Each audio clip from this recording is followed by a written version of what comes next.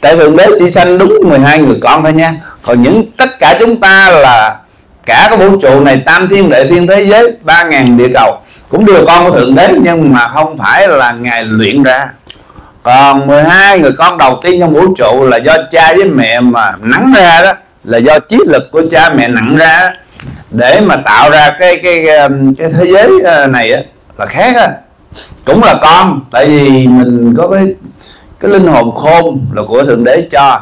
Mình có cái chân thần là cái bóng ma đó là do mẹ cho. Cái xác phàm là cha mẹ của họ Nguyễn, họ Trần cho, đúng không?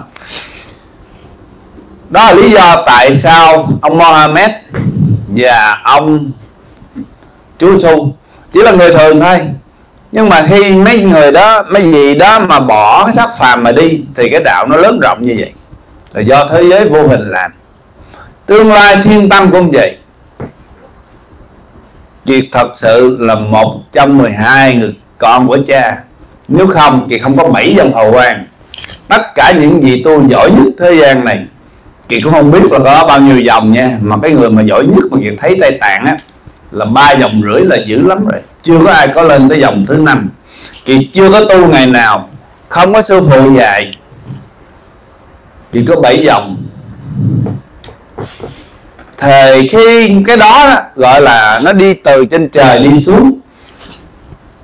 Còn những gì mà tu giỏi ngồi thiền ba bốn chục năm thì một kiếp này thôi. Kiếp sau mấy ổng cũng trở lại số không dòng lại là nhiều khi dòng đen nữa nếu mà kiếp sau không làm sai. Còn kiếp tái sanh kiếp nào cũng đều có bảy dòng.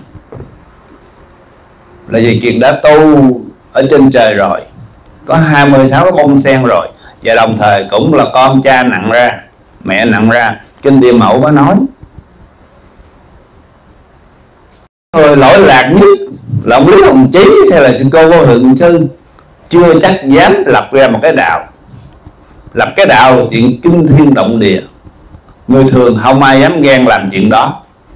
Nếu mà người mà mình dũng chữ mà vô minh thì nó hơi nhiều khi uh, mấy thằng kiến cận với uh, mã tấu với à, dân giàu hay là phật tử hay là con chiên rồi không có hiểu.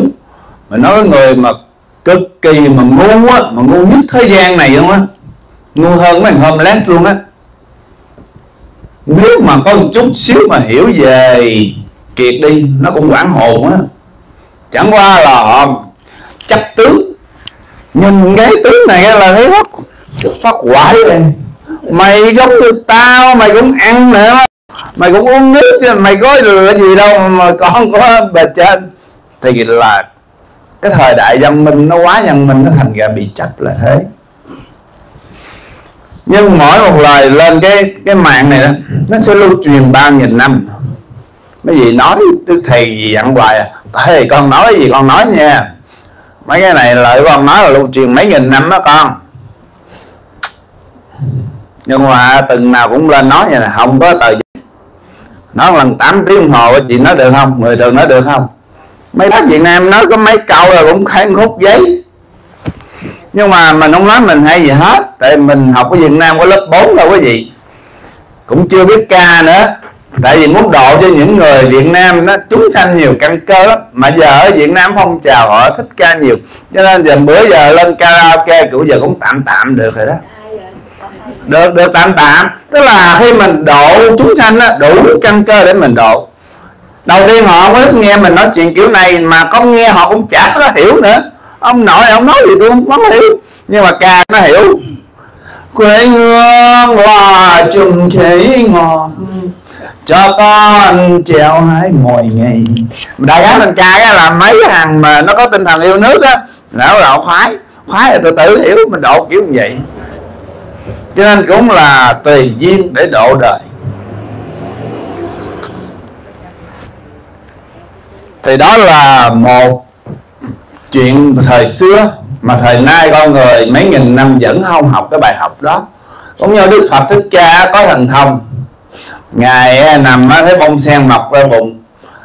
Vậy mà cũng bị ngoại đạo, bị mấy đã đấu tin đấu, khi họ không tin là cứ thế là thảy gai cho đạp. Phật đập chơi vậy đó. Lúc đói cũng không có đồ ăn nó ăn đồ ăn của ngựa nữa mà. Thời nay nhầm gì cho nên cái mặt này bây giờ là bị dày rồi, không có quê nữa. Tại vì bề chơi nói giờ nhiệm vụ của con mà đem nhiều chừng nào á, thì là con không còn tái sanh.